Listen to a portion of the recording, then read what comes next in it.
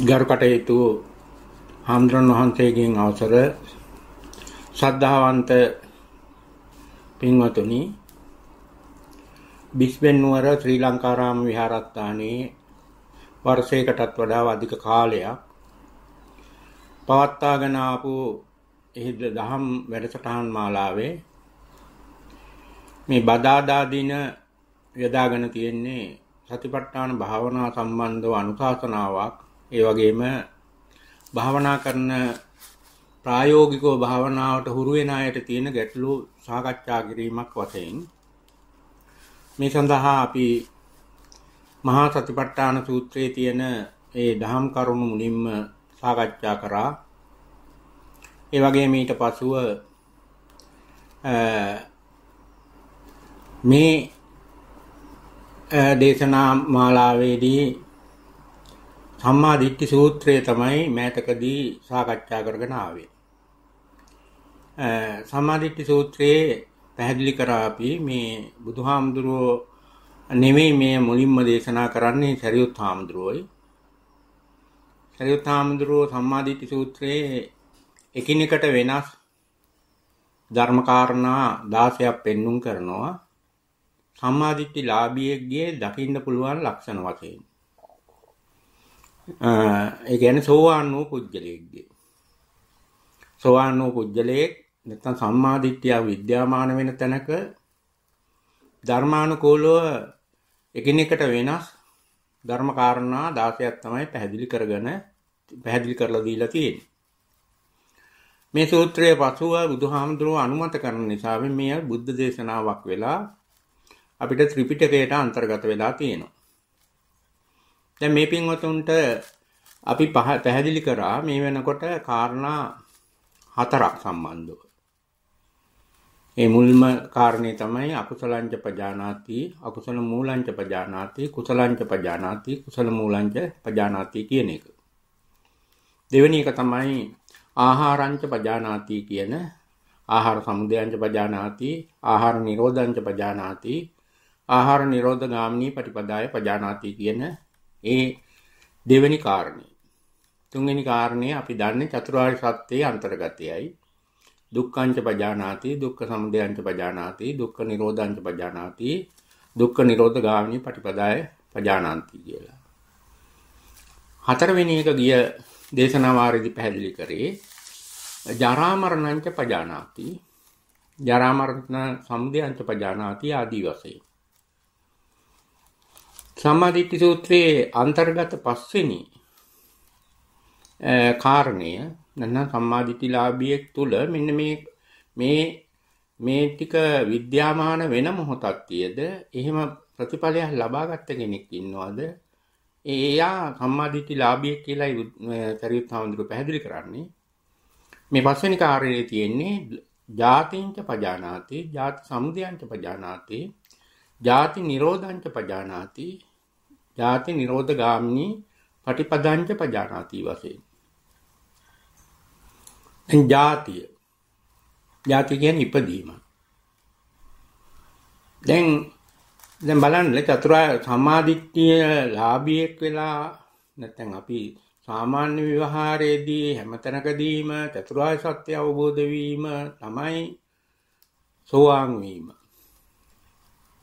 ආර්ය පුජ්‍යලේ බවට පත්වීම මේවා අපි අහලා තියෙන ධර්මය. දැන් එතකොට චතුරාර්ය සත්‍ය කියලා තියෙන දුක්ඛ ආර්ය සත්‍ය, සමුදය ආර්ය සත්‍ය, නිරෝධ ආර්ය සත්‍ය, ඒ වගේම මාර්ග ආර්ය සත්‍යයි. දැන් හරියුත් හාමුදුරුවෝ සම්මාදිට්ඨි ලාභියාගේ ಗುಣ කියනකොට කියන්නේ චතුරාර්ය සත්‍ය පජානාති ගුණේ යුක්ත වෙනවා කියන එක. ඒකයි අර තුන්වෙනි කාරණේදී තියෙන්නේ දුක්ඛංච පජානාති. දුක්ඛ සමුදයංච පජානාති. දුක්ඛ නිරෝධංච පජානාති. මේ පජානාති කියන්නේ ඒ මොහොතේ තේරුම් ගැනීමයි. දැන් අපි හිතමු මේ ඉදිරියට එන කාරණා ටික පෙළ ගස්සගෙන තියෙන්නේ, පෙළ ගැහිලා තියෙන්නේ මොන විදිහටද? දැන් හැමතැනම චතුරාර්ය සත්‍ය තමයි අන්තර්ගත විය යුත්තේ. ඒ කියන්නේ පජානාති ගුණයෙන් වෙන්න ඕනේ දුක්ඛංච පජානාති. දැන් දුක කියන එක විස්තර වෙනකොට ජාති දුක, ජරා දුක, මරණ දුක, ශෝක දුක, පරිදේව දුක ආදී වශයෙන් අපි දුක්ඛාර සත්‍යයේදී කරුණු ටිකක් ගන්නවා. දැන් මෙතෙන්දි මේ සරුත් හාමුදුරුවෝ පෙන්වන්නේ දැන් අපි හිතමු ජාති දුකෙන් පෙළෙන වෙලාවක අපිට ජරා දුක පෙළෙන්නේ ඒ වගේම ශෝක දුක, ජාති දුක තුල ශෝක දුක ජනිත වෙන්නේ දැන් දුක්ඛ දුකේ ස්වરૂප ගොඩක් තිබුණාට මේ එක වරකට එකයි ප්‍රකට වෙන්නේ. දැන් ඒක නිසාවෙන් දැන් ජරා මරණ දුක කියන වෙලාවක ජරාව හෝ මරණය කියන එක මම ඊයේ සතියේ මේ පහුගිය දේශනාවේදී පැහැදිලි කරලා දුන්නා. ජරාව කියන්නේ වෙනස් වීමයි. කායික හෝ මානසික වෙනසට කියන ජරා විශේෂයෙන්ම කායික වෙනස. එතකොට ජරා වෙනස් වීමේ අවසානයේ මරණය කියලා කියා දුන්නා. එහෙනම් ජරා මරණ එකට තියෙන දෙයක් මේ එකට තියෙන දෙය අර දුක්ඛ ආර්ය සත්‍යයේ කොටසක්. එතකොට මේ එක අරමුණකට ඇහෙන් කනෙන් නාසයෙන් දිවෙන් කයෙන් මනසෙන් එන අරමුණක මේ එක දුකක්. කියන්නේ ජාති දුක වෙන්න වෙන්න පුළුවන්, ජරා දුක වෙන්න පුළුවන්, මරණ දුක වෙන්න පුළුවන්, ශෝකය, පරිදේවාදී එකක් ආවත් ඇති කියන එක තමයි මේ සරිත් සාමුද්‍රෝ මෙතෙන්දී ගැඹුරින් පැහැදිලි කරන්නේ. දැන් මේ පස්වෙනි කාරණේට අරන් තියෙන්නේ මොකද්ද? මෙන්න මේ කාරණා හතර තියෙන විද්‍යාමාන නම් ඒ කාරණා හතර විද්‍යාමාන වෙන්නේ සම්මාදිට්ඨිලාභියෙක් තුලයි. නැත්නම් සම්මාදිට්ඨිය තුලයි. මොනවද ඒ කාරණා හතර? ජාතිංච පජානාති. ජාති සම්දයංච පජානාති. ජාති නිරෝධංච පජානාති. ජාති නිරෝධ ගාමිනී පටිපදංච පජානාති. මේ කාරණා හතර ඒ කාර්මුණක විද්‍යාමාන වෙනවා නම් ඒ විද්‍යාමාන වෙන්නේ සම්මාදිට්ඨිය ලක්ෂණයක් විදිහටයි කියලා කරියුත් හාමුදුරු දේශනා කරනවා. එහෙමනම් දැන් ජාතිය කියන්නේ දුක්ඛ ආර්ය සත්‍යයේ පළවෙනි දුක. ජාති දුකෙන් තමයි පටන් ගන්න. එතකොට ಜಾතිය ප්‍රකට වෙනවා නම් විද්‍යාම පජානාති ගුණේ වෙනකොට කාටවත් මෙන්න මේවා වෙන්න බෑ එහෙනම්. ಜಾති කියන එක පජානාති ගුණේ ඉපදීමනේ ಜಾතිය කියන්නේ. ඉපදීම පජානාති ගුණේ. ඒ කියන්නේ වර්තමාන අරමුණක නෙමෙයි ඉපදුණු විදිහ හොයන එකක් නෙමෙයි මෙතන මේ දේශනා කරන්නේ. දැන් අපේ මා තම තමන්ගේ මේ බණහන අය හිතුවොත් කල්පනා කරොත් බැලුවම අද ඉපදුණු කවුරුවක් බණ අහන්නේ මේ මෙතන. මීට අවුරුදු ගානකට පෙර ඉපදිලා ඉන්න කෙනෙක්මයි බණ අහන්නේ. එහෙනම් ඔය අපි දන්න අපේ ඔය කියන උප්පත්තිය කිසි කෙනෙකුට පජානාති ගුණයකට වළංගු වෙන උප්පත්තියක් නෙමෙයි. ඉපදීමක් නෙමෙයි. ඇයි? පජානාති වෙන්න නම් වර්තමාන ආරමුණ තුල අන්තර්ගත වෙන්න ඕනේ. අපි දන්නේ ඉපදීම අපේ වර්තමාන වර්තමානයක් නෙවෙයි අතීතය. ඒකින්ද මං කියා දුන්නා මෙතන මේ ඉපදීම කියන්නේ අර මේ සංසාර ස්වરૂපේ අපි සම්මුතියෙන් සලකන අපගේ උප්පත්තියයි මරණයයි අතර තියෙන පුංචිම ඒකකයටයි. ඒ කියන්නේ ඇහෙන් රූපයක් පේන වෙලාවක ඒ පෙනීම කියන්නේ අලුත් ඉපදීම. ඒ පෙනෙන කාලයේ තියෙන අලුත් වෙනස් වීම. පෙන්ලා ඉවර වෙනවා කියන්නේ මැරීම. එහෙනම් ඇහැට රූපයක් පේනකොට එතන අන්තර්ගතයි ජාති ජරා මරණ. ඒ වගේම කනට සද්දයක් ඇහෙනකොට ඒ ඇහෙන මොහොතේ අන්තර්ගතයි ජාති ජරා මරණ. ඒ වගේම නාසයට ගඳ සුවඳක් දැනෙන මොහොතේ අන්තර්ගතයි ජාති ජරා මරණ. ඒ වගේම දිවට රසක් දැනෙන මොහොතේ අන්තර්ගතයි ජාති ජරා මරණ. කයට ස්පර්ශයක් දැනෙන මොහොතේ පොට්ටබ්බ රූපයක් දැනෙන කයෙන් අරමුණක් එන මොහොතේ අන්තර්ගතයි ජාති ජරා මරණ. ඒ වගේම මනසට මොනවා හරි කල්පනා කරන වෙලාවේ කල්පනා වෙන මොහොතේ ඒ වර්තමානයේ අන්තර්ගතයි ජාති ජරා මරණ. දැන් ඒක නිසා වෙන්නේ මේ සතිපට්ඨාන භාවනාවක් වඩන්න කියන්නේ බුදුහාමුදුරුවෝ සංසාර විමුක්තිය ලැබෙන ඒකායන ක්‍රමයේ විදිහටයි.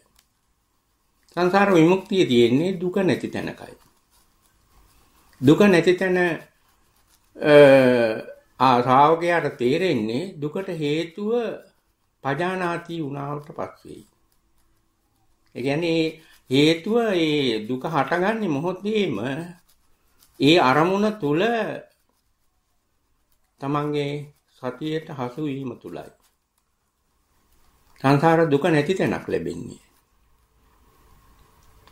සංසාර විමුක්තිය ලැබෙන්නේ. ඒ වගේම ඒක ලැබෙන ඒකායන ක්‍රමයේ ආර්ය ශ්‍රාංග මාර්ගයේ වැඩිමයි.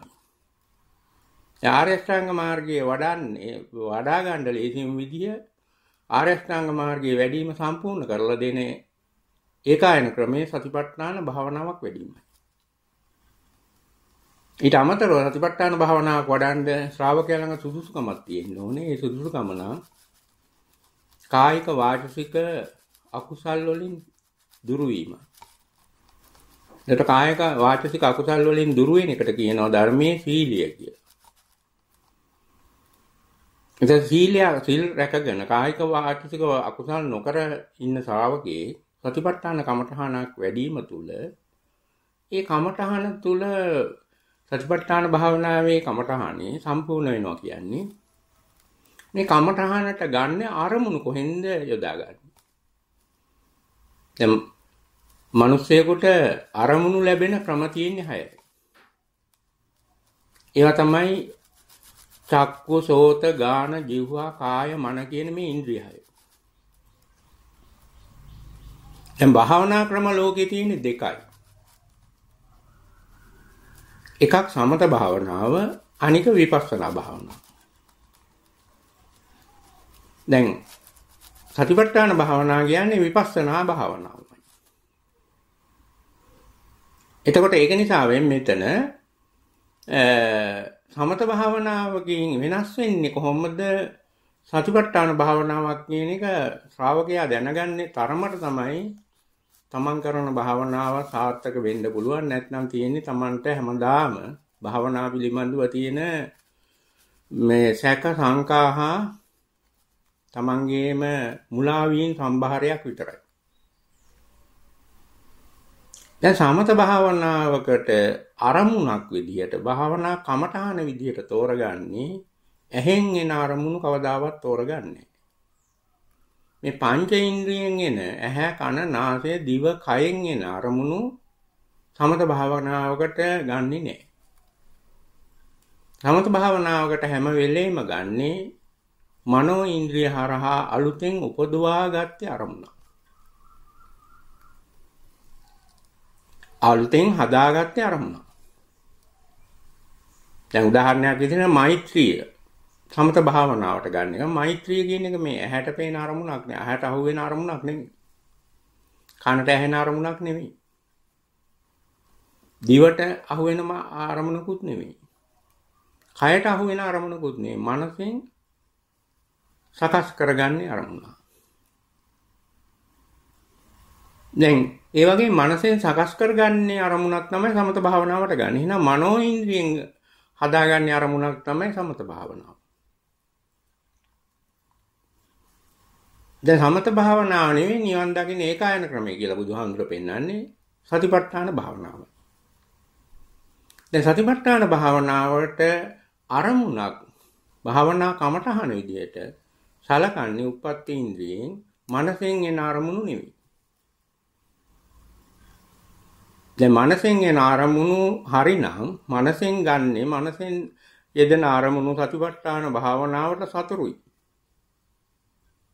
ඔය භාවනාවේ හැම වෙලෙම සතිපට්ඨාන භාවනාව දුර්වල කරන්නේ සතිපට්ඨාන භාවනාවට බාධා එල්ල කරන්නේ මනෝ ඉන්ද්‍රිය හරහා එන අරමුණු හරහාමයි. සතිපට්ඨානයට ගන්න අරමුණු කයෙන් එන අරමුණු. එතකොට දැන් මං කිව්වා මේ කයෙන් එන අරමුණක වචනේ කියන්නේ ඇහෙන් එන අරමුණක කනෙන් එන අරමුණක මනසෙන් එන අරමුණක ඕනම අරමුණක ඒ අරමුණ පවතින කාලේ. ඒ කියන්නේ කාය කයෙන් දැනෙන අරමුණු පවතින සීමිත කාලයේ මේක චිත්තක්ෂණයක් කියලා ධර්මයේ කියනවා. මේ ඊටා කුඩා කාලේ අරමුණකට පවතින්න පුළුවන් ඒ කියන්නේ සිතක් උපතීන්ද්‍රියෙන් සිතක් ඇති වෙලා නැති වෙන්න යන කාලේ කාටවත් මනින්න පුළුවන් මේ ක්‍රමයක් නෙමෙයි. ලෝකයා කාලය මනලා තියෙන්නේ ඔය දැන් සූර්යාගේ ගමන පෘථිවියේ චලනය ඔන්නෝ අල්ලගෙන. ඒවා ඒවට යන කාලේ වගේ මොහොම ස්වල්ප කාලයක් නෙමෙයි මේ කාලය. හිතන්න බැරි සූක්ෂම කාලයක්. ඒකින්ද මේවැ මිමි නෑ කාටවත්. මිමි වලට උදාහරණ විතරයි තියෙන්නේ. දැන් චිත්තක්ෂණයක් කියන එක ස්වභාවික සංසිද්ධිය වලින් කියන්නේ අසුරු ගහ අසුරු සැනක් ගහනවා. ඒ කියන්නේ ඔය දැන් ඇඟිලි දෙක තද කරපුවම එන සද්දයක් තියෙන්නේ සද්දෙන් නිකුත් වෙන්න කාලයක් තියෙන්නේ. ඒ කාලයේ සීත් ලක්ෂ ගාණක් ඇති වෙන්න පුළුවන්. මේ වගේ උදාහරණ මිසක් මේ මේ තියෙන උපකරණ වලින් මනින්න පුළුවන් බොරු දේවල් එතකොට ධර්මයේ නෑ. එහෙම හැදුවත් වැරදිනවා. ඒ කියන්නේ සිතක වේගය එහෙම එකක්. නමුත් එක හා සමාන සිත් පරම්පරා ඇති වෙනකොට අපිට ඒ වගේ ඒවා දැනෙනවා ඒකාකාර. දැන් ගහක් පේනවා අපිට. මේ පේනවා කියන්නේ එක සිතකින් පෙනුණා නෙමෙයි. දැන් පොල් ගහක් පේනවා කියන්නේ ඇහැට ඒක හා සමාන සිත් පරම්පරා ලක්ෂ කෝටි ගාණක් එකතු වෙලා හැදිච්ච ප්‍රතිඵලයක්. කනට ශබ්දයක් ඇහෙනවා කියන්නේ එහෙම එකක්. දැන් එහෙම නැතුව මේ එක ශනිකින් වෙන එකක් නෙමෙයි.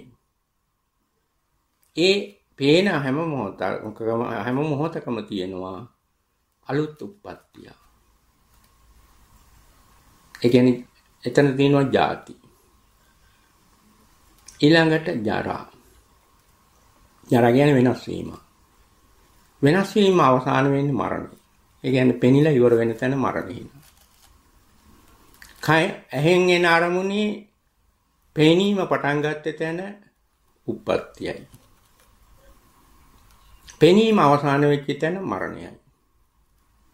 උප්පත්තියයි මරණය අතර තමයි අර පෙනීමේ වෙනස්කම තියෙන්නේ. ජරාව. එහෙනම් කයට එන අරමුණෙත් ඔහොමමයි. මේ කනට එන අරමුණෙත් ওই විදිහමයි. සද්දයක් ඇහෙන ආරම්භය උප්පත්තිය ජාති. ඇහිලා අවසාන වීම මරණයයි. එහෙනම් ඇසීම ආරම්භ වෙච්ච තැනයි ඇසිලා ඇසීම ඉවර වෙන තැනයි අතර වෙනසයි ජරාවයි. දැන් ඔතන නැද්ද එහෙනම් ජාති ජරා මරණ. එහෙනම් කණෙන් ඇහෙන සද්දය තුල ජාති ජරා මරණ තියෙනවා. එතකොට නාසයට ගඳ සුවඳක් තේරෙන තැන ජාති ජරා මරණ තියෙනවා. දිවට රසයක් දැනෙන තැන ජාති ජරා මරණ තියෙනවා. එහෙමනම් දැන් සමන්ගේ ශාරීරිය තුලින් කය නැත්නම් තමන් හැදිලා තියෙන මේ කායික කොටස් ටික දිසිස් කුණප ටික මස් ඇටලේ ටික. දැන් ඇඟිල්ල රිදෙනවා. මොන ඇඟිල්ලද? සුළඟිල්ල. සුළඟිලි තියෙනවා හතරක් අපිට. අත් දෙකේ සුළඟිලි දෙකයි කකුල් දෙකේ සුළඟිලි දෙකයි. එහෙමනම් සුළඟිල්ල රිදෙනවා කිව්වම දැන් වම් කකුලේ සුළඟිල්ල රිදෙන්නත් පුළුවන් දකුණු කකුලේ සුළඟිල්ල රිදෙන්නත් පුළුවන් වම් අතේ සුළඟිල්ල රිදෙන්නත් පුළුවන් දකුණු අතේ සුළඟිල්ල රිදෙන්නත් පුළුවන්. හැබැයි අපිට මිනිත්යක් එනවා දැන් මේ රිදෙන්නේ මගේ වම් අතේ සුළඟිල්ල කියලා. ඒ රිදීම ආරම්භ වෙන තැනයි ඒ රිදීම පවතින තැනයි. ඒ සුළඟිල්ල රිදීම අවසාන වෙන තෙක්ම අකණ්ඩව සිත් પરම්පරාව ඇති උනේ කොහින්ද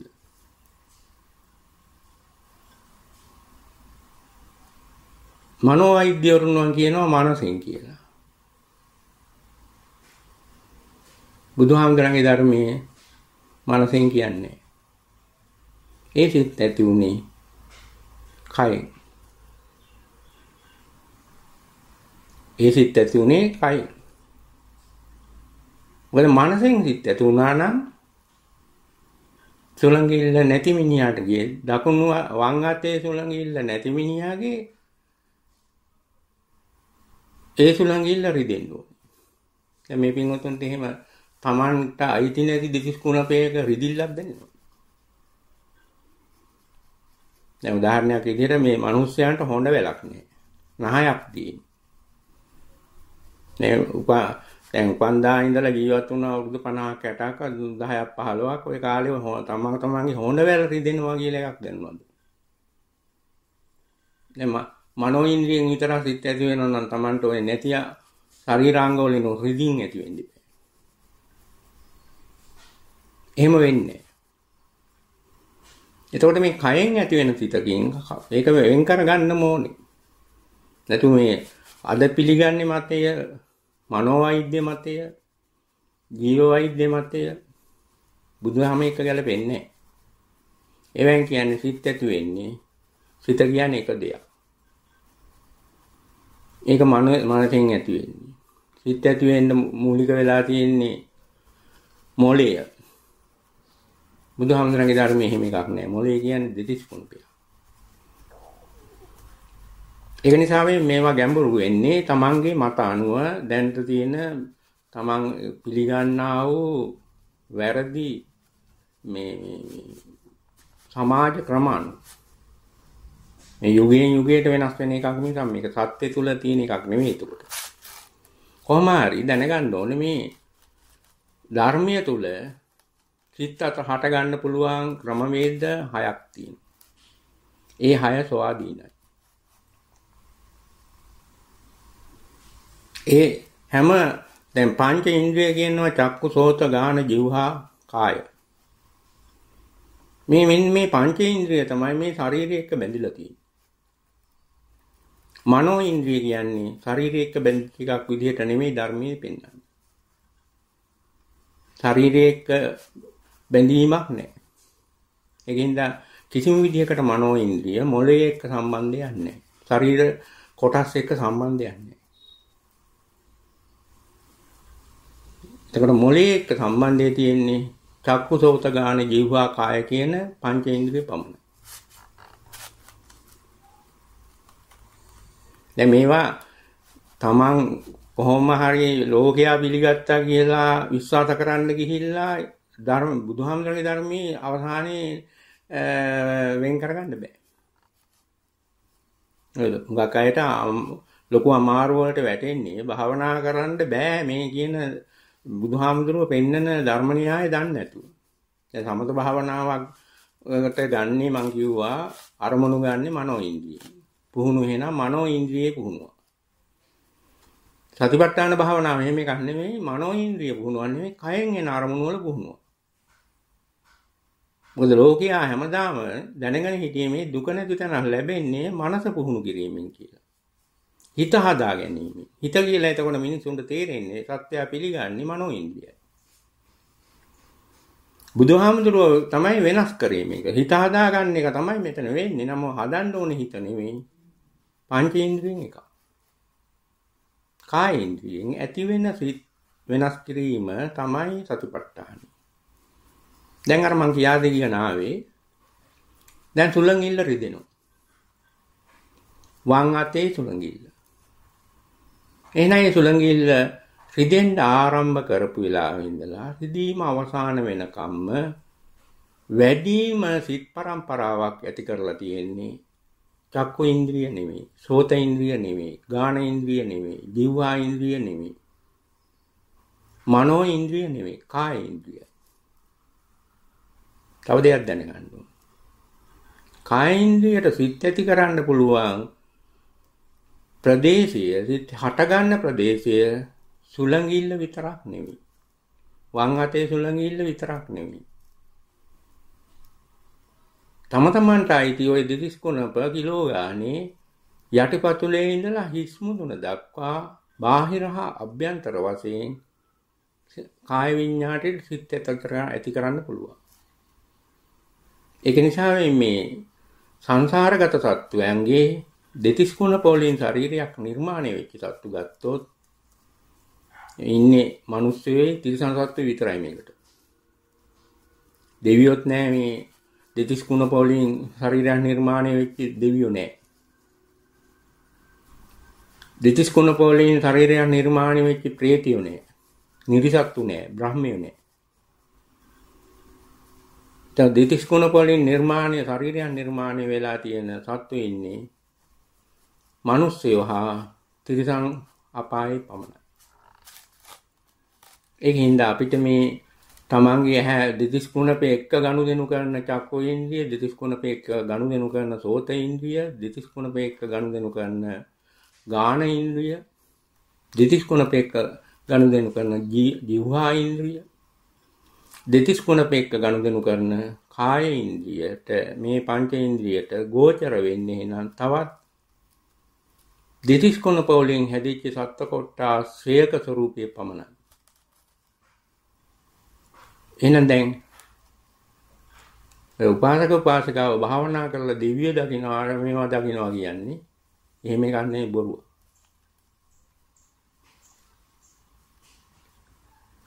මේ අපේ තියෙන පංචේන්ද්‍රියට එහෙම වෙන සත්තු විද්‍යාමාන වෙන්න බෑ. විද්‍යාමාන වෙනවා නම් ඒ සත්තු දෙතිස් කුණ වලින් හැදිලා තියෙනවා. ඉතින් ඒක නිසා වෙන් මෙතන ධර්මානුකූලව තියෙන්නේ සමත භාවනා දිනු කරලා හුඟා දිනු කරපු අයට ලබා ගන්න පුළුවන් දිබ්බ චක්කු දිබ්බ සෝතේ එහෙම කියලා තියෙනවා. ඒ කියන්නේ එහෙම දිබ්බ චක්කු කියන්නේ එහෙනම් දැන් දැන් වර්තමානයේ උපාසක උපාසිකාව භාවනා කරලා දිව්‍ය දකින්නේ තමන්ගේ ඇහෙන්. තමන්ගේ කනින් දෙවියන්ගේ හඬ අහන්නේ. දැන් දෙවියන් කියන පිරිත් අහන්නේ උපාසක අම්මලා. අර තමන්ගේ ටෙලිෆෝන් එකකින්ම සින්දු අහන කණින්මයි. ඒ වගේ රංගපාන පිරිස වැඩි වෙලා තියෙන මේ ධර්මයේ ගැන නොදන්නා. ඉතින් ඒවා ඒවා තියාගෙන තවදුරටත් ඒවට හවුල් වෙලා ඒවා විශ්වාස කරගෙන තව කවුරු හරි ඒ වගේ බොරු කිව්වම ඒක ඇත්ත කියලා භාවනාවේ ආනිසංස කියලා පිළිගන්න. පුජ්‍යලයන්ට කවදාවත් සාර්ථක වෙන්නේ සමත භාවනාවක් හෝ විපස්සනාවක්. මොකද දිට්ටි වැරදි, දැක්මවල වැරදි, ධර්මයේ දන්නේ ධර්මයේ විකෘති අදහස් අදහනවා. දැන් කොහොම හරි මේ දෙතිස් කුණප එක්ක ගනුදෙනු කරන ඉන්ද්‍රිය පහ තමයි පංච ඉන්ද්‍රිය. දැන් අර සතිපට්ඨාන පුහුණුවට යොදාගන්නේ කාය ඉන්ද්‍රියෙන් එන අරමුණයි. ඒකට මම කිව්වා අර තමන්ගේ ශරීර කොටසක් අර තුලංගිල්ල රිදෙන්න පටන් ගත්තම් ගන්නකොට ඔන්න අලුත් જાතියක් අලුත් උප්පත්තිය. ඒ උප්පත්තිය මොකක්ද? සුලංගිල්ල රිදීමේ උප්පත්තියයි. එතකොට දැන් ඒ උප්පත්තිය අලුත් එකක්. අර මීට අවුරුදු ගානකට ඉස්සෙල්ලා මොගුසෙන් බිහිවීමේ උප්පත්තිය නෙමෙයි ඒක. ඒත් සංස මේක සංසාරී උපදීමක්. මොකක්ද ඉපදුනේ දැන්? වම් අතේ සුළඟිල්ල රිදෙන්න පටන් ගැනීමේ උප්පත්තිය. දැන් ඒක ඒ විදිහටම දිනනවා දී උප්පත්ති නෑ. ඒ රිදිල්ල වෙනස් වෙන එක්ක වැඩි වෙනවා එක්ක අඩු වෙනවා. එහෙනම් ඒකත් ඒ ඒ අඩුවීම වැඩිවීම තේරුනේ කොහෙටද? ඇහැටද ඇහෙන් එන අරමුණකටද කනෙන් එන අරමුණකටද නාසයෙන් එන අරමුණකටද දිවෙන් එන අරමුණටද මනසෙන් එන අරමුණටද නෑ ඒක තේරෙන්නේ කයෙන් ඒ සුලංගිල් නැමැති කායික කොටසෙන් ඇති වෙන කාය විඥානී අරමුණකට. දැන් ඔහොම ගිහිල්ලා එහෙනම් ඔහොම ගිහිල්ලා කාලයක් ගිහිල්ලා රවන් අතේ සුලංගිල්ල රිදුණා ඉස්සෙල්ලා ඒක පැවතුණා සිදෙන්නේ නැතුව ගියා.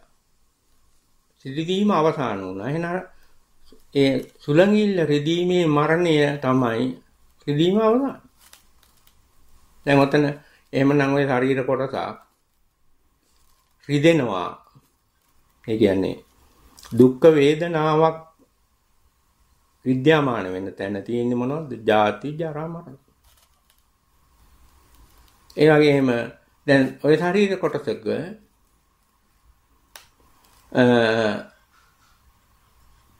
සතුටු වේදනා ඒ ශරීර කොටස දැන් සුළඟිල්ල පිනවෙන එක. දැන් රිදෙනවා කියන එක දුක්ඛ ස්වરૂපය. දැන් ඕනම ශරීර කොටසකට පුළුවන් එක්ක පිළීමකට ලක් වෙන්නත් පුළුවන් නැත්නම් පිනවීමකට ලක් වෙන්නත් පුළුවන්. මේ කාය විඥානය ওই දෙකෙන් යුක්තයි. ඇත්තටම කාය විඥානය තුලින් බුදුහාමුදුරුවෝ පෙන්නන්නේ කයෙන් ඇති වෙන අරමුණ තුල අන්තර්ගත දෙකයි තියෙන්නේ කියලා. ප්‍රකට අන්තර්ගත දෙකයි. සියලුම කායික අරමුණු වල. මේක මේ චක්කු සෝත ගාන જીවහා මනස කියන අරමුණු අනිත් පහට ආйти නැති කයට විශේෂ වූ අරමුණු දෙක මේ සතිපට්ඨානයේ හටගන්නේ සතිපට්ඨානයේ වටිනාකම තේරුම් ගන්නේ මේ කායික ස්වરૂපයේ කායික අරමුණේ තියෙන ස්වરૂපය මතයි. දැන් ඒක තමයි කායික අරමුණේ තියෙන ස්වરૂප දෙක ධර්මයේ කියන්නේ කාය පිනවීම හා කය පෙළීම. දැන් සංසාරගත සත්‍යය කය පෙළෙනවට අකමැති. මේක දුක් වේදනාව. ඒකට සංසාරගත සත්‍යය හැම විටම කය පිනවනවට කැමති. නම් ප්‍රශ්නයක් තියෙනවා. මේ දෙතිස් ගුණ පවලින් සම්පූර්ණ වෙච්ච මිනිස්යන්ට තිරිසන් සත්තුන්ට හැම මොහොතකම කය පිනවෙන්න ස්වરૂපයෙන් නෑ. වරින් වර වඩා ප්‍රකට වෙන්නේ කය පෙළෙන ස්වરૂපය. ඒක නිසාවෙන් සංසාරගත සත්තු හැම විටම ප්‍රාර්ථනා කරන්නේ කය පෙළෙනේවෙන් අහක් වෙන්න. ඒකේ අධ්‍යාත්මික ප්‍රතිඵලයක් විදිහට තමයි දැන් මිනිස්යාගේ කය පින වෙනවා වගේම පෙළෙනවා. වැඩියෙන් තියෙන්නේ පෙළෙන එක. එහෙනම් කායික අරමුණේ කයෙන් දැනෙන අරමුණේ තියෙන්නේ දුක් වේදනාව වැඩි. ඒ කියයි පෙළෙනවා කියන්නේ. කායික අරමුණෙන්ම කයෙන් හට ගන්න අරමුණක කාය ඉන්ද්‍රියෙන් හට ගන්න අරමුණක සුඛ ස්වરૂපේ වැඩි නම් ඒක පෙළෙනවා නෙවෙයි පින වෙනවා. දැන් දැන් ඒ දෙවියෝ වෙන්න කැමති මොකද? දේවත්වයේ තුල කය පෙලෙන්නේ. මොකද දෙවියන්ගේ ශරීරය හැදිලා තියෙන්නේ දෙතිස් කුණ පොලින් නෙමෙයි. එහෙනම් කයේ කායික ස්වરૂපය ඒගොල්ලන්ගේ පින වෙච්ච ස්වરૂපයක්මයි. මනුස්සයන්ට එහෙම බෑ. උප්පත්තියෙන් පින වෙච්ච කායක් ලැබෙන්නේ තමන් විවිධ දේවල් කරලා ඒක ලබා ගන්නවා. ඒව දේවල් කරන්න ගියාම තමයි මනුස්සයාට වැඩියෙන් අකුසල් සිද්ධ වෙන්නේ. කය පිනවන්න ගිහින් තමයි වැඩිම අකුසල් ටික කරන්නේ. එහෙනම් දැන් බුදුහාමුදුරුවෝ පෙන්නනවා මේ කයෙන් එන අරමුණේ තියෙන ස්වરૂප දෙකයි. එකක් කාය පිනවන ගතිය. කයෙන් එන අරමුණේ තියෙන සුඛ වේදනාව. අනික තමයි කයෙන් එන අරමුණේ තියෙන දුක් වේදනාව.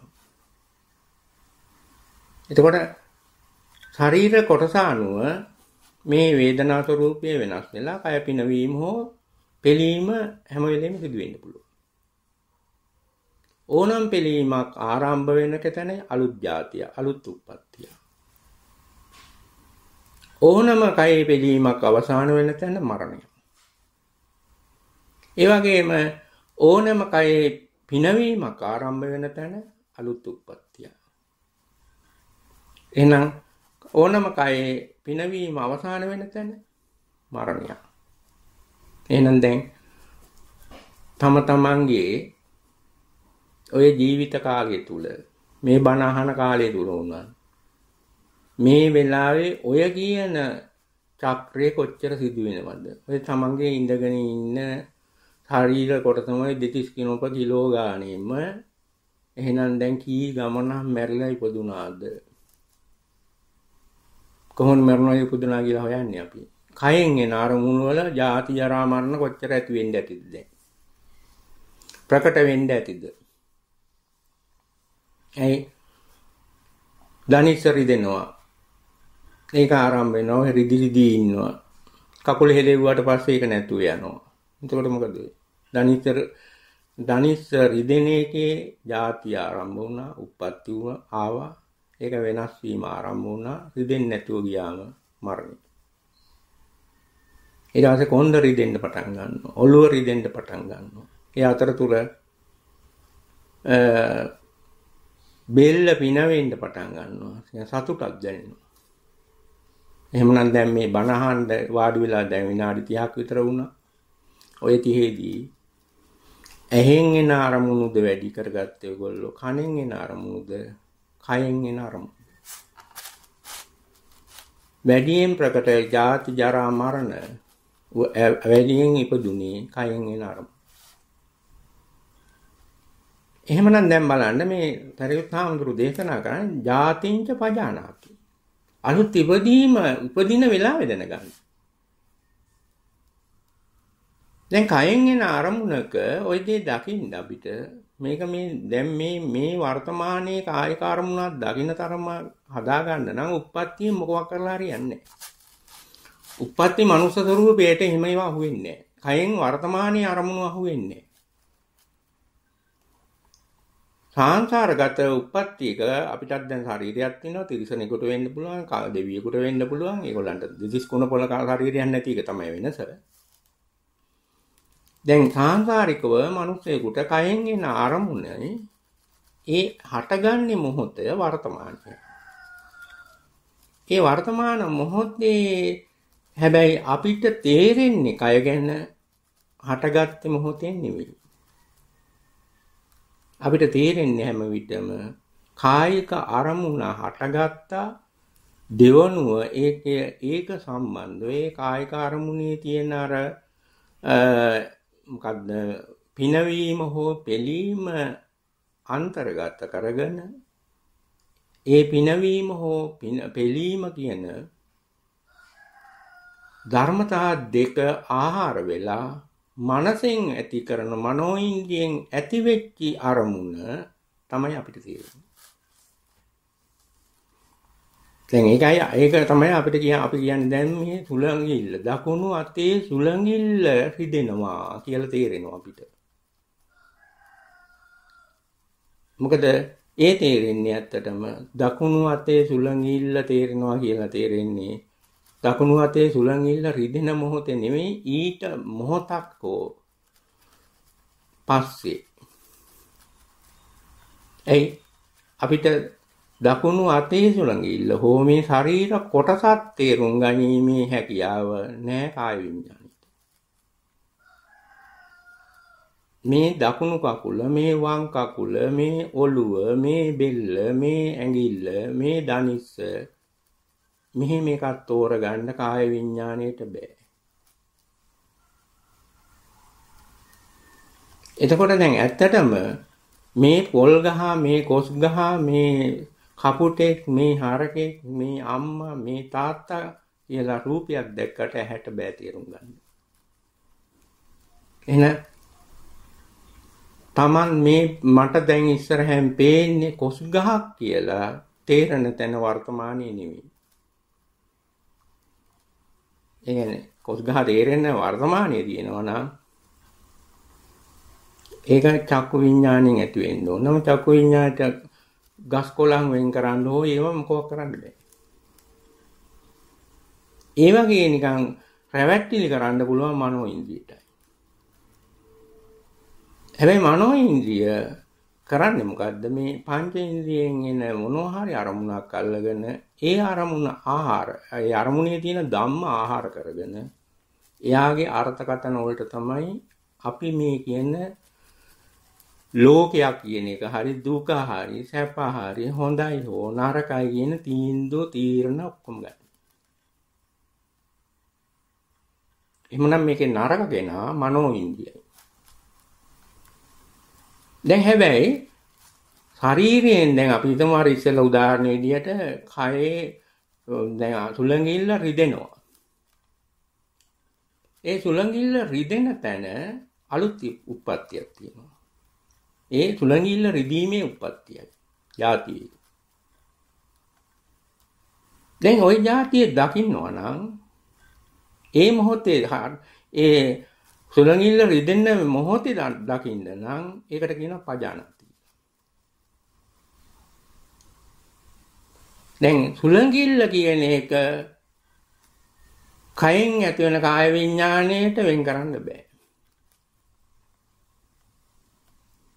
තුලඟිල්ලෙන් ඇති වෙච්ච කාය විඥානයේ තුල හටගත්තේ ධම්ම ටිකක් හොරගම් කරපුව මනෝ ඉන්ද්‍රියට පුළුවන් මේක සුලඟිල්ල මේක දබරගිල්ල මේ වම් කකුල මේ දකුණු කකුල මේ දනිස්ස මේ ඔළුව මේ බොල් වෙල්ල කියලා බොරුව කරන්නේ.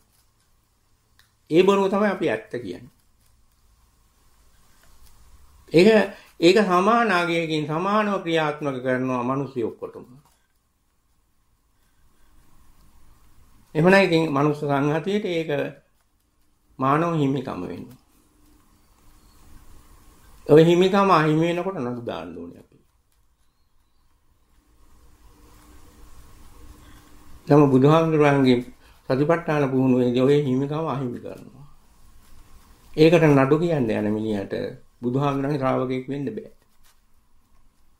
ඒකට අයිතිවාසිකම් හොයන්න යන මිනිහට ওই පුහුණුව සාර්ථක වෙන්නේ නැහැ. නිකම්ම මිනිස්සෙක් කියලා ඉපදිනා මැරලා ගියේ. ඒ බුදු සරියුත් හාමුදුරුවෝ පෙන්නන සම්මාදිට්ඨිය ලබන්න බෑ යාට. මේ සරියුත් හාමුදුරුවෝ පෙන්නන මේ සම්මාදිට්ඨිය ලාභියාගේ තියෙන ಗುಣ 16 එකක්ව විද්‍යාමාන වෙන්නේ යාට. එයා ළඟ විද්‍යාමාන උප්පත්තියේ ඉඳලා මරණකම් මානව හිමිකම් ටික විතරයි. මානව හිමිකම් හෝ දේව හිමිකම් හෝ බ්‍රහ්ම හිමිකම් හෝ තිරිසන් හිමිකම් හෝ මේ ඕනෑම හිමිකමක් කියන්නේ එකමයි සංසාරේ කියන්නේ. එහෙමනම් මතක තියාගන්න ඕනේ ඔයගොල්ලෝ මේ කමටහන් භාවනා කරන්නේ තවදුරටත් ඔය උප්පත්තියෙන් ගත්තේ මානව හිමිකම් ටික ආරක්ෂා කරගන්න නෙමෙයි. මානව හිමිකම් නැති කරගන්න. ඒ මානව හිමිකම් නැති වුණේ නැත්නම් සංසාර විමුක්තියක් නැහැ. පෙරක් අය දක්ෂ වෙනවා මානව හිමිකම් නැති කරගෙන දේව හිමිකම් ලබන. ඒතකොට මනුස්සයට වැඩිය හොඳ සංසාරයක් ලැබෙනවා. දැන් ආලාර කාලාම බෝධිසත්වයන්ට කියන්නේ මානව හිමිකම් වලට වැඩිය හොඳයි බ්‍රහ්ම හිමිකම් කියලා. ඒතර සමත භාවනාවක් වැඩුවම ලැබෙන්නේ මානව හිමිකම් අහිමි වෙලා බ්‍රහ්ම හිමිකම් ලැබෙන එක. මිනිසෙක් කියලා පස්පව කිරීම දුස්සීල වීම තුළ ලැබෙන්නේ මානව හිමිකම් අහිමි වෙලා අපායේ සතර අපායේ හිමිකම් ලැබී. එතකොට මේ සතිපට්ඨාන භාවනාව කියන්නේ තවදුරටත් බ්‍රහ්ම හිමිකම් ලැබෙන එකකුත් නෙමෙයි. සතර අපායේ හිමිකම් ලැබෙන එකකුත් නෙමෙයි. මානව හිමිකම් ආරක්ෂා වෙන එකකුත් නෙමෙයි. ඒකින්ද එවැනි ආනිසංස ලැබෙනවා කියලා බොරුවට රඟපාන උපාසක උපාසිකාව කරන්නේ හැමදාම වංචනික වැඩක්. භාවනාවෙන් මට මේ ಗುಣ ලැබුණා. කියන්නේ මොනවද? තවත් මානව හිමිකම අහන්නම්. එතන භාවනාවේ බොරුවයි. රැවටිල්ලයි. ඒක නිසා මේ පරිස්සම් වෙන්න ඕනේ මේ. දැන් අතන අර කයෙන් එන අරමුණේ අර මානව හිමිකම් අහිමි වෙන තැන මොන වගේ වෙයිද? මානව හිමිකම් අහිමි වෙන තැන කයෙන් එන අරමුණට මනෝ ඉන්ද්‍රියෙන් අර්ථකතන නැති වෙන්නේ. එහෙනම් කායික අරමුණ එතෙන්දී වර්තමාන අරමුණ වෙන්නේ. මනෝ ඉන්ද්‍රියෙන් දෙන අර්ථකතනයේ තියෙන තැන තියෙන්නේ වර්තමානයක් නෙවෙයි අනාගතයක්. ඒ කියන්නේ වර්තමාන අරමුණ තව ටිකක් පහුවෙලා ලැබිච්ච ප්‍රතිඵලය.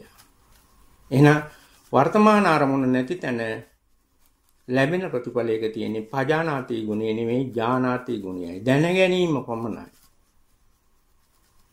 දැන් මේ මේ තෙන්දි ජාතිංච පජානාති කියන ගුණය තිබුණොත් ජාති සමුදයංච පජානාති කියන ගුණය තිබුණොත් ජාති නිරෝධංච පජානාති ගුණය තියෙන එකයි සම්මාදිට්ඨිලාභියාගේ ලක්ෂණ විදිහට බුදුහාම මේ සරියුත් හාමුදුරුවෝ බුදුහාමුදුරුවෝ පැහැදිලි කරා. දැන් එහෙමනම් කායික ආරමුණේ පජානාති ගුණයකට කවදා හරි යන්න නම් පළමුව ඉස්මතු වෙන්න ඕනේ මොකද්ද? ඉස්මතු වෙන්න ඕනේ කයෙන් එන අරමුණක්මයි. ඔන්න පළවෙනි කාරණේ. ඒක ඇහෙන් එන අරමුණක් වෙන්නත් බෑ. නාසයෙන් එන අරමුණක් වෙන්නත් බෑ. දිවෙන් එන අරමුණක් වෙන්නත් බෑ. මනසෙන් එන අරමුණක් වෙන්නත් බෑ. කයෙන් එන අරමුණක්ම විය යුතුයි. ඒ වගේම කයෙන් එන අරමුණ දැන් මේක මට තේරෙන්නේ දකුණු කකුලේ සුළඟිල්ලයි කියනකොට කයෙන් එන අරමුණකට ශරීර කොටස වෙන් කරන්න බෑ. සුළඟිල්ලද දකුණු පැත්තද වම් පැත්තද කකුලද අතද කියලා වෙන් කරන්නත් බෑ. එහෙමනම් ඒ දැන් ඔය වෙන ඔය මනසෙන් එන අරමුණකින් තමයි අර ශරීර කොටස අහවල් තැන කියලා බොරු නිර්මාණයක් කරලා දෙන්න අපි රවට්ටන්න පුළුවන්. දැන් එහෙමනම් කයෙන් එන අරමුණට මනසෙන් එන අරමුණ දැන් මනසෙන් කොච්චර හරි අරමුණු ගන්නෙ කොහොමද? කයෙන් එන අරමුණෙන් හදන ධම්ම ටික ආහාර කරගෙන. එහෙනම් මනසෙන් මනසට කයෙන් එන අරමුණේ ධම්ම ආහාර නොවන විදිහට ධම්ම හදන හදනවා කියන්නේ මොකක්ද? කවදද ඒක වෙන්නේ?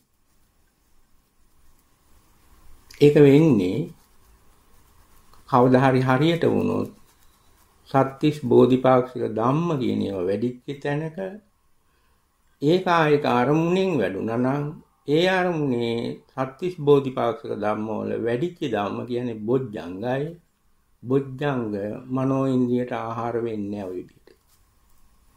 කාය ඉන්ද්‍රිය හරහා ඇති වෙන අරමුණේ ධම්ම බොජ්ජංග මට්ටමට දිනුනා මනෝ ඉන්ද්‍රියට තවත් ආහාරයක් නෙමෙයි ඒ අරමුණ. බොරු කරන්න බෑ. අන්න එතන තියෙන්නේ වර්තමානයේ. දැන් ඒකට යන ගමන තුල තමයි අර එහෙමනම් බොජ්ජංග වල තියෙන ධම්ම වලින් තමයි අර ජාතිංච කයෙන් එන අරමුණේ උප්පත්තිය පජානාති වෙන්නේ. ඒ වගේම වෙනස් වීම ජරාව පජානාති වෙන්නේ. ඒ වගේම කයෙන් එන අරමුණේ මරණය පජානාති වෙන්නේ. ඒ වගේම දැන් මෙතෙන්දී චරියුත් හාමුදුරුවෝ පෙන්නනවා ಜಾති සමුදය කියන එක මොකක්ද කියලා. ජාතිංච පජානාති ජාති සමුදයන්ත පජානාති. දැන් ජාති කියන්නේ දුක. දුක්ඛාරය සත්‍යයේ එක කොටසක්. උප්පත්තිය දැන් මේ තමන් මේ මිනිස්සෙක් කියලා ඉපදීම නෙවෙයි මේ කියන්නේ නේද? කයෙන් සතිපට්ඨානේ වඩලා කයෙන් එන අරමුණක අලුත් උප්පත්තිය. ඒ උප්පත්තිය අල්ලගෙන ඒක පජානාති වුණොත් එහෙනම් ජාති දුක ඒ මොහොතේ ඇති වෙන්නේ ඒ වගේ මේක විතරක් වෙලා බෑ. ඒක එහෙම වෙනකොටම ජාති සමුදයංච පජානාති කියන තැන මේ සමුදය, ජාති වල සමුදය, ජාතිය නැත්නම් ඉපදීමට හේතුව තියෙන්නේ දැන් තණ්හාව නෙවෙයි. සමස්ත තණ්හාව නෙවෙයි. තණ්හාවේ එක අංශයක්. මොකක්ද ඒ අංශය? භවය. පැවැත්ම. භවය කියන්නේ පැවැත්ම. එහෙමනම් දැන් ඔය කයෙන් තේරෙන ශරීරයක් තියෙන්නේ මස් ඇටලේ වලින් හැදිච්ච දෙතිස් කුණ වලින් තියෙන ශරීරයක් තියෙන්නේ කාටද? කාම භවයේ අයට. එහෙනම් જાතියක් ඇති වෙන්නේ කා පැවැත්ම භවය කියන්නේ පැවැත්ම. ඔය තම තමන් ඒ කියන්නේ තමන්ගේ ඔය ශාරීරියේ දෙසිස් කුණ පවතින්නේ මොන භවය තුලද? කාම භවය. ඒකට කියනවා කාම භවය කියලා.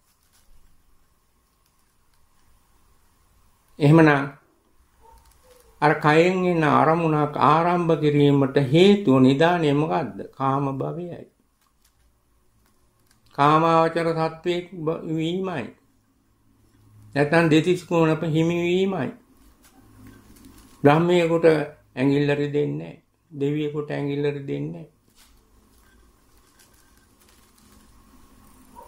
දැන් ඔය ඔය ටිකට ඔය தත්ත්වයේ ඉන්න නම් මොනවද වෙන්න ඕනේ?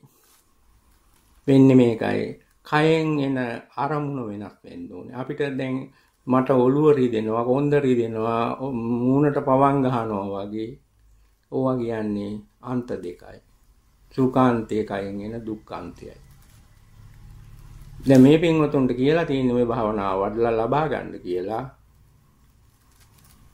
ධාතු ප්‍රකට වෙනවා කියලා. ඒ කියන්නේ කායික අරමුණේ උණුසුම් සීතල කම්පන චංචල. ඒ වගේම තද ගති, ඉරි ගති ඔන්නෝම වෙනවනම් අන්න එතකොට තියෙන්නේ වෙන දෙයක්. එතනත් මේ හරි දේ නෙමෙයි තියෙන්නේ. නමුත් එතන මනෝ ඉන්ද්‍රියට අර ඉස්සර තරම් ධම්ම හොරකම් කරන්න බෑ. කයෙන් එන අරමුණේ. ඒක ධාතු ගුණයක පහළ වෙන ධාතු ගුණයක පහළ වෙනකොට මනෝ ඉන්ද්‍රියට හොරකම් කරන්න බැරි ධම්ම ටිකක් තියෙනවා බරපතල ලෙස. මොනවද?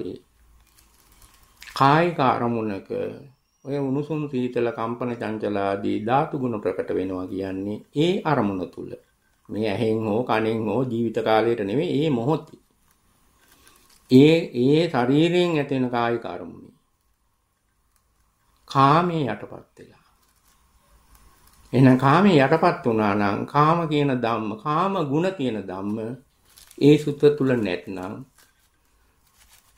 ඒ මේ කියන්නේ කයෙන් ධාතු ගුණ ප්‍රකට උණුසුම් සීතල වගේ දේවල් ප්‍රකට වෙනකොට ඕනම අවස්ථාවක ධාතු ගුණයක් ප්‍රකට වෙනකොට කාම කියන ගුණේ නෑ නීවරණ යටපත් වෙච්ච මනස සිතක් ඒ සිත. එහෙන් ඇති වෙන සිත් වල එහෙම ගුණයක්වත් නෑ කනින් නෑ ශරීරිනුත් වෙන ස්ථාන වලින් ඇති වෙන සිතක එහෙම නෑ. අර ධාතු ගුණ ප්‍රකට වෙන මොහොතේ ඒ කයෙන් ඇතිවෙච්ච සිත තුල කාමයට සම්බන්ධ අරමුණු නෑ. ආන්න එහෙමනම් එතකොට කාමයට සම්බන්ධ අරමුණු ධම්ම නැති හින්දා ඒ සිතේ මනෝ ඉන්ද්‍රියට හොරකම් කරන්න බෑ එහෙනම් කාමී. කාමී හොරකම් කරන්න බැරි හින්දා යාට දෙන අර්ථකථනීය වැරදි ඒවා දීලා මුලා කරන්නත් බෑ ටිකක්. තව තියෙනවා ඒක. ඒවා තමයි ඔයගොල්ලන්ට උපදෙස් විදියට දුන්නේ මේ පුහුණු ඉදිරියට ගෙනියන්න කියලා. මේ පුහුණුවේ අවසානයේ නෙමෙයි මේ පුහුණුවේ මුල මේ මම මේ කියන්නේ. ධාතු ගුණ ප්‍රකට වීම.